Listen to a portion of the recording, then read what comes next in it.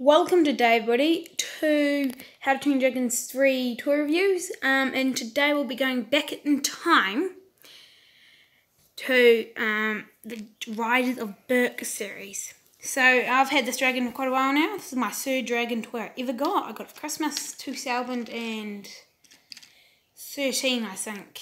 Yes. So um, it's pretty basic toy here. Now I must say it is one of the best ones um, the last lot of dragons just before to Train Dragon 3 came out quite a little while ago now. Probably the worst. It's the last time we saw Stormfly. There's another Stormfly coming out. So this doesn't have to be Stormfly. I know they made a purple version as well and also an orange version. So let's have a look into it.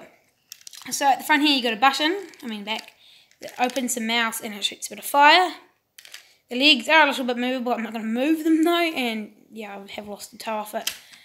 Um, to be sitting upstairs. The tail is quite nice. It's nicely coloured and it's really, it represents a Nadder well.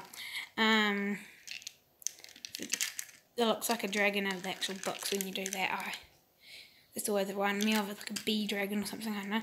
Um, and yeah, it's quite a large dragon.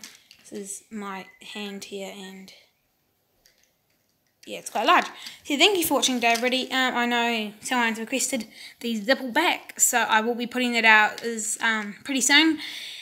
And um, I've also got some more of the new dragons on their way.